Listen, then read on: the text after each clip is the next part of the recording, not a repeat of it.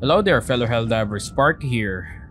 Well, I just finished my project today and I was about to play Helldivers 2 until I saw this. Actually, my friends sh showed me this one. And it's about the account linking update.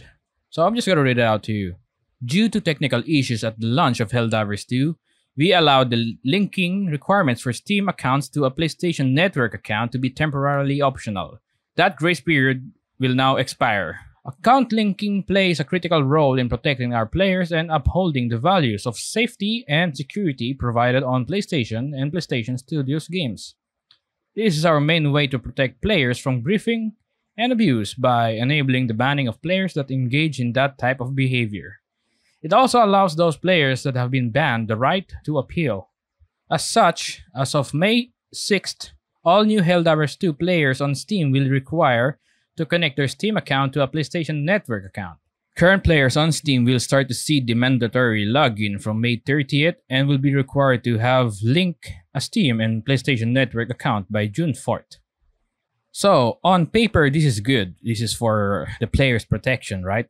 And I would do this without second thoughts. But here's the problem. I'm gonna start creating a PSN account since I don't have one. I don't have a PlayStation. Okay, we're gonna create account and we're gonna select our country or region for for verification and you know contact. Let's see. I live in the Philippines. Here's the piece. The Philippines is not here. Yes, the Philippines doesn't have PSN. We don't PSN doesn't support the Philippines. So if they continued on this path, it's gonna be problematic for me and other players who doesn't have PSN support.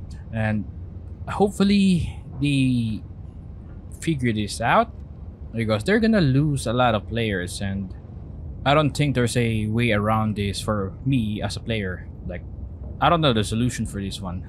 Anyway, hopefully this video gets to the developers and hopefully they do something about this because I really love Helldivers and I really want to continue making cinematics for this game. And if I lose the ability to play this game and that's gonna suck.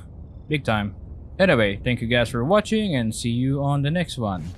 Always take care and dive feet first to hell